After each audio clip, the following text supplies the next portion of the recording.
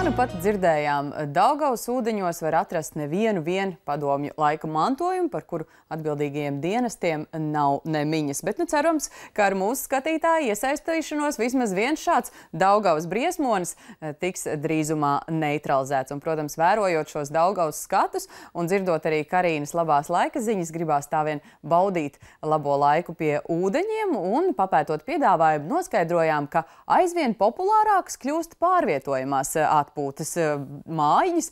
Daži uzņēmīgi cilvēki, piemēram, pat pirti ir gatavi pievest jums klāt. Un izrādās, ka ne tikai pirti. Latvijā mobīli kļūst pat aizturēšanas izolātori. Tiesa, šādām eh, moduļu tipa mājiņām nav neviena loga, tomēr ir visu redzošā un uzraugošā kameras acis.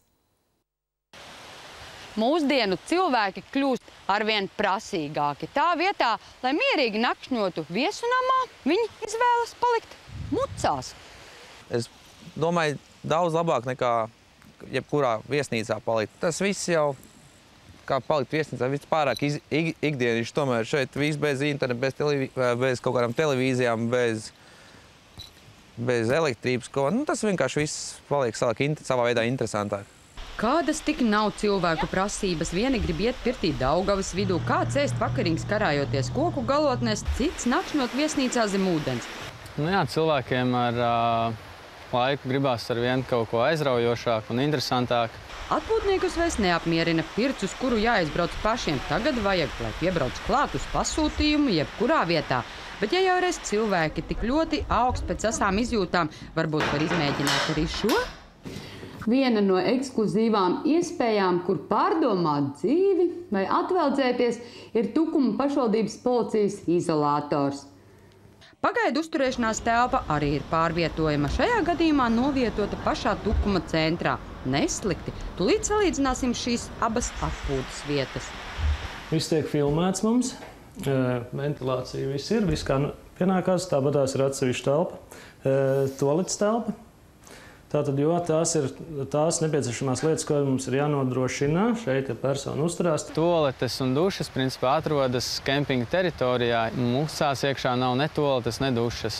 Nodrošinam ar uh, ūdeni, ja grib padzerties, vai tāpat tās mums ir jānodrošina viņiem medicīniskā palīdzība. Viesunamā ūdens jāpērk par naudu. Nu, gultiņi ir pacieti. Jā, mīkstāk nav, nav, nav nepieciešams nodrošināt ar mīkstāku gultiņu. Jā. Atšķirībā no cietuma kameras šajā istabiņā ir mīkstas gultas, bet nav tolete un dušas. Tātad plusi un mīnusi kempingā, kur var izjust adrenalīna devu guļot mucā vai aizturēšanas izolatorā, kuram aso piedevu iedod simpātisks policists ar roku dzaužiem. Viss, kas ir iekšā muciņās, principā ir tikai gulta un uh, skaists skats pa logu ar ļoti tuvu atrodošos jūru. Šiem atšķirībā no tiem visiem acīm redzot atšķirsies lielākais pēc tā, kad viņiem nav loga, un tie tur nevarētu būt. Un droši vien, kad cena, jā, šeit būs katrā ziņā droši vien lētāk uzturēties nekā tādā namā. Mucā pārnakšķot var sākot no 26 līdz 65 eiro. Ja tā ņemam šeit, tad Cilvēks praktiski nemaksā neko. Tas ir viss administratīvā procesa ietvaros, kāds sots viņam pēc tam tiek uzlikts. Ja kempingā iekļūt var ar vienu nosacījumu, ja kabatā ir nauda, tad šeit jābūt vismaz pamatīgi ierēbušam, lai baudītu viesmīlīgās telpas.